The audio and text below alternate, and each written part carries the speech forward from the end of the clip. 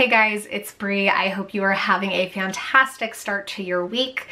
I wanted to talk to you about Seven Surrenders and Too Like the Lightning by Ada Palmer.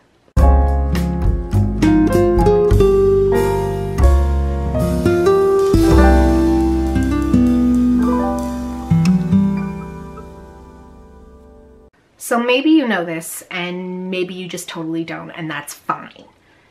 But I love Ada Palmer full disclosure.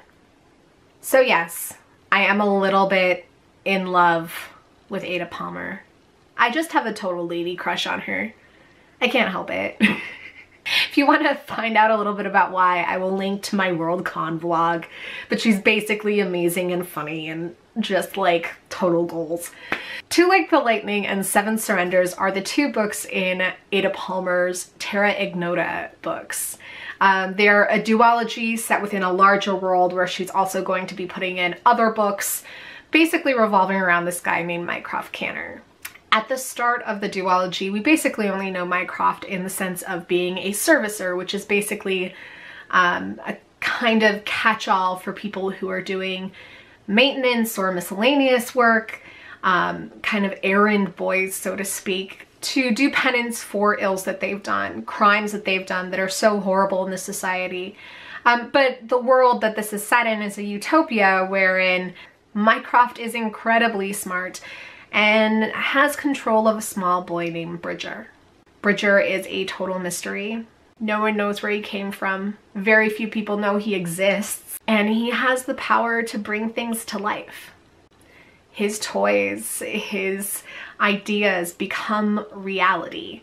Full-fledged people with their own ideas out of like little toy soldier men. And Mycroft, as smart as he is, knows that this is incredibly valuable and knows that Bridger has to be protected. But the world that Mycroft and Bridger live in, while apparently a utopia, also has a lot of construction going on to it. There are a lot of things that are very much artificial and that's how it maintains its balance. There are automated car services and schedules. People belong to these things called hives, which are basically like, I would call them countries, but you don't belong to a particular territory. Your government isn't bound by limits in that regard. You are kind of tying yourself to an idea of what humanity should be, and that is your hive. But Mycroft is not necessarily the best guy for the job because while he's extremely smart, he is also extremely dangerous.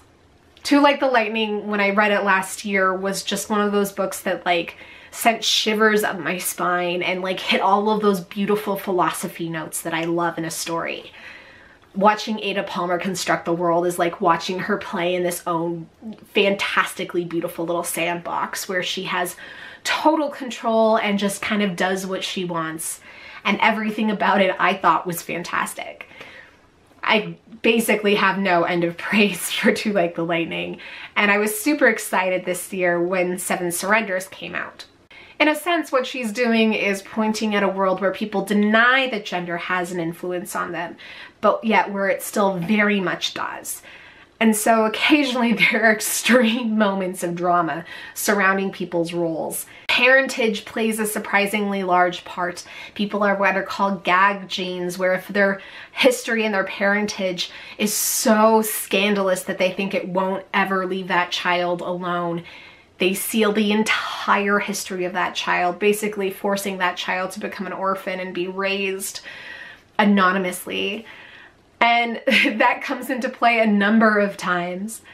And it plays this really interesting contrast to the philosophical aspect. At times it feels a little bit like switching back and forth between like a super cerebral television show and then like Dr. Phil or Maury. It's a little interesting. But the drama in her stories, aside from those moments, the actual long-standing drama and suspense that she draws out are so good. I loved every second of this duology. And admittedly, it's the kind of thing that I know I would love from the very beginning. It's philosophical and has historical play and draws on ideas about the city state and nationalism and all sorts of good stuff like that that just like is a very much like Bree bait. It's extremely abstract at times, so it can be a book that's really difficult to get your mind around. The second book is really, I would say, easier to get into, but only because you have done the legwork of getting through the first one. I think once you get to the like 100 page mark in Too Like the Lightning, you are sold on it if you are going to like it. The characterization of Bridger and Mycroft and the whole cast of characters that surround this story are really interesting. It's a really, really engaging experiment in which Ada Palmer is kind of playing with the idea of identity and gender politics while not trying to describe someone as a man or a woman. So much of how Mycroft Canner, who's writing this as an epistolary novel, is presenting them to you is through that lens, but through a lens of someone who understands masculinity and femininity as something devoid of the physical. So you are not female because you have breasts or a uterus or a vagina. You are female because of the way you respond to certain situations. It's really interesting to kind of see the construct of gender devoid from physicality, which is, I think, something that at the very least I know I really struggle with at times. As a result, the characters themselves have to be really detailed in their behavior and their mannerisms, the way they believe, and it's clear that Palmer has done this work. It's clear that she has really thought through who these characters are, what is motivating them, how they engage in the broad puzzle and political scheming of this world it feels like she's doing something new and edgy and I don't even know that I necessarily think that's true in any given aspect but there's just something very unique in the way that she approaches storytelling. Moreover, Ada Palmer plays a lot with the idea of the antiquated and the modern. So while there are things like what are what she calls set sets, humans whose brains have been augmented to essentially be quantum computers. Mycroft kind of imposes this they, thou, shall, shan't kind of conversation that people don't really use in the modern era. I really liked the way that she blends the modern and the antiquated in this duology. I'm super excited to see what she does next. I am just like, I'm a fan. I've become a fan throughout this duology. So go ahead and let me know what you think of Too Like the Lightning and Seven Surrenders by Ada Palmer. Um, I've tried to keep this relatively spoiler free so that uh, if you've only read one, you can go ahead and kind of have an overview of it uh, as a series as a whole. You know the drill. Uh, make sure to leave comments about what you think about Too Like the Lightning and Seven Surrenders in the comments down below.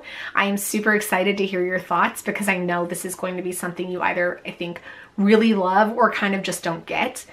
And I am super excited to hear your guys' thoughts on it. You know the drill. Go ahead and like, comment, and subscribe. I hope you're having a fantastic reading week, and I'll talk to you later. Bye.